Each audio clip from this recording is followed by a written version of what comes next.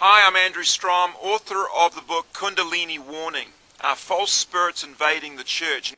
The stuff that's been invading in the last, say, 16 to 17 years, I believe it's the worst invasion in church history. So we've got a lot to look at. And my background is I've been involved in the charismatic movement myself for over 25 years. I've been part of the prophetic movement. I was part of that movement for 11 years. So I saw all of this incredibly alarming and disturbing stuff coming in uh, while I was involved. Now, the basic question that we're asking in this documentary is why are these manifestations so similar to Eastern religions and Hinduism and the Kundalini cults, and yet they're not found in Scripture, they're not found in the Bible, they're not found in classical Christianity at all?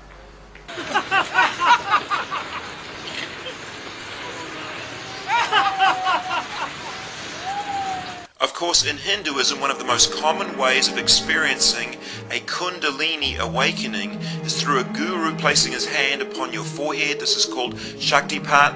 And when they do that, you'll be infused with this incredible love and this wave of emotion. You'll fall down. There'll be all these manifestations, maybe animal noises, uh, joy and weeping and shaking.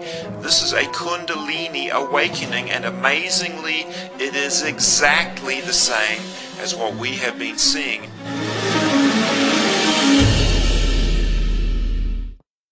Isn't it incredible that starting around 1994, this stuff could invade the entire charismatic church movement almost worldwide on a vast scale, and yet it's absolutely identical, seemingly, to Kundalini Hinduism?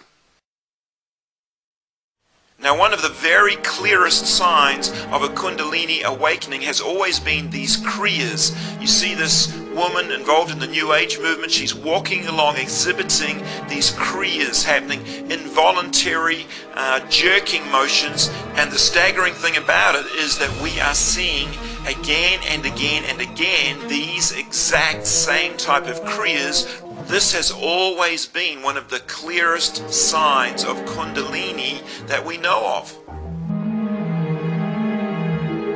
A friend of mine from South Africa who's done a tremendous amount of research on this topic says that Kundalini is like a false Holy Spirit.